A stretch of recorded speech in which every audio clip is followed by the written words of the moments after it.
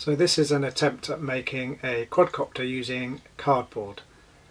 So as you can see here I've cut out the cardboard sections and then what I've done is I've used double-sided sticky tape to fix them down and just to keep these edges in I've used triangles of cardboard here. Again these are all stuck down with double-sided sticky tape and I've got masking tape around the corners just here. Uh, now obviously this is not going to be particularly strong quadcopter if it's just made out of cardboard. So what I'm now going to do is cover the whole lot in fiberglass. And the fiberglass I'm going to use is a fiberglass cloth. It's quite a lightweight cloth. So this is the cloth. It's uh, 180 grams per square meter. Um, I'm actually going to use two layers of this cloth but cloth doesn't like to be put straight on top of cloth. Normally you'd use a chop strand mat in between each layer of cloth but because I've uh, run out of chop strand mat I'm going to use a tissue layer in between. So when you use cloth um, and actually when you use tissue uh, you only need um, the same weight of the material of cloth and tissue as resin. If you're actually using chop strand mat, it's uh, two and a half times the volume of resin to the weight of the chop strand mat. So uh, I haven't really bothered measuring it, I've got lots of fiberglass spare. So I'm just going to go for it and hopefully make a big enough batch.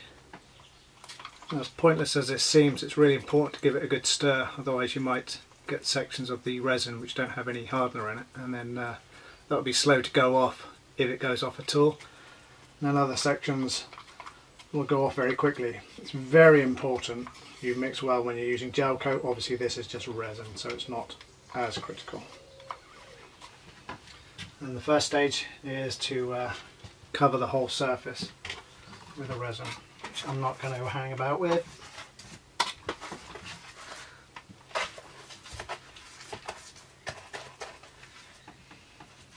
Mean this is an experiment, I don't know how successful this is going to be and I've kept this design relatively simple. Um, if it works quite well you could uh, go for quite extreme designs. Um, this is a lazy way to do fiberglass.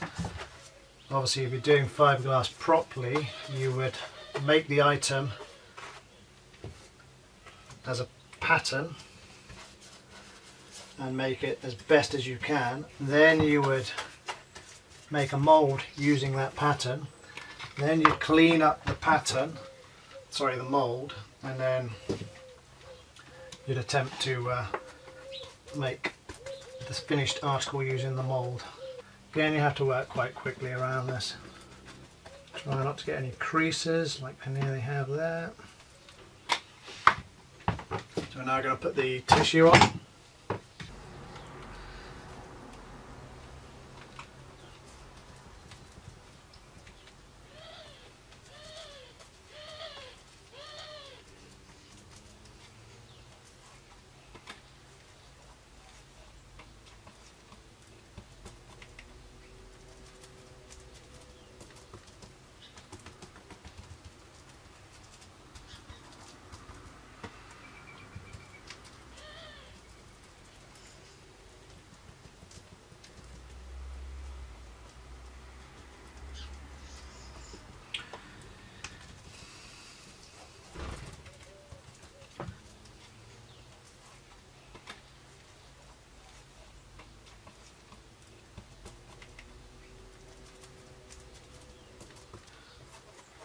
So we're now on the second bit of cloth and I've put this with the uh, fibres going in the opposite direction to the original. I don't know if that will really make a difference on here but it's always worth um, crossing the fibres at 45 degrees. The uh, cardboard is holding up which is always useful. I didn't know that was going to collapse under the uh, wetting of the fiberglass resin but it's sticking. A few bits there I don't like. These corners are awkward. I think you're going to do this again. Let's sort out those corners more. So now that's nicely wetted out, I'm going to go onto the roller and just roll over just to push it all nicely down get the resin nicely through and hopefully get rid of some of these bubbles that have happened on the corners here.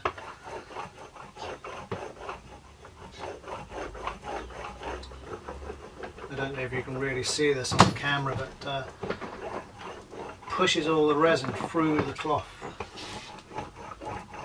which is exactly what you want.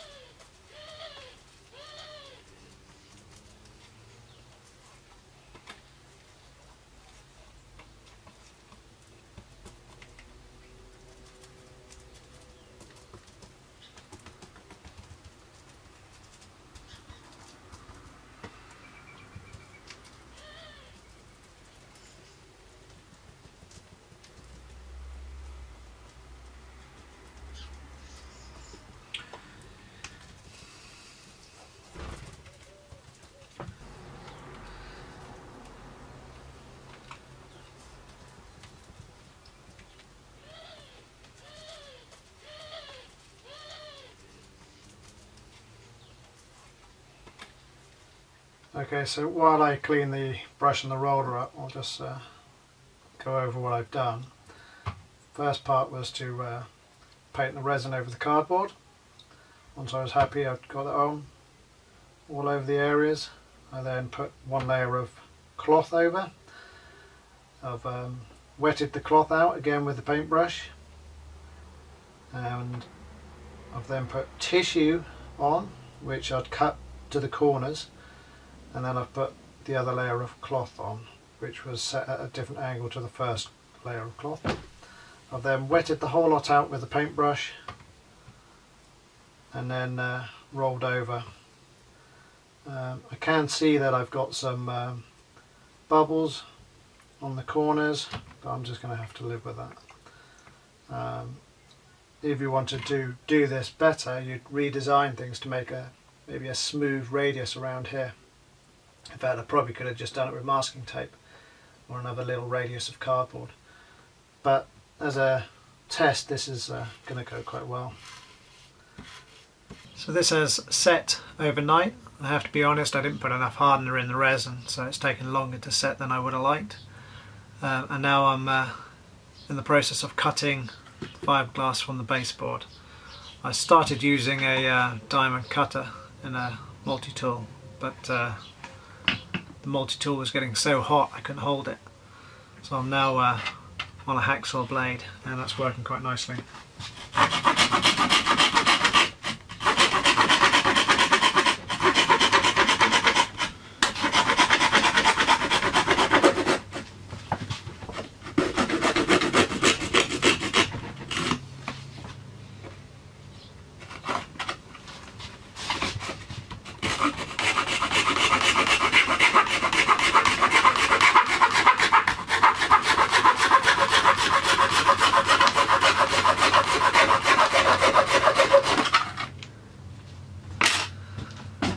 Let's have a look.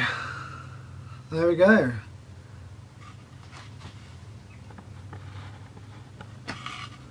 That is our cardboard quadcopter. And it's uh, not bad, it's a bit of flex in it. But I think that's going to work quite nicely.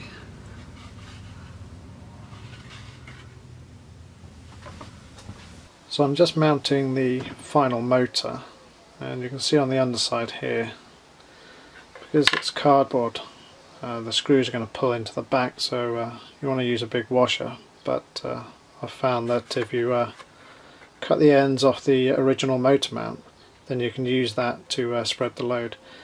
Um, you can see it's actually pulling into the cardboard a bit around the edges and I think what's best to do is tighten them then leave them for a couple of hours and tighten them again and check every time you fly that they haven't come loose. Um, but that's going quite well. Um, I'll get the last one in and do the wiring.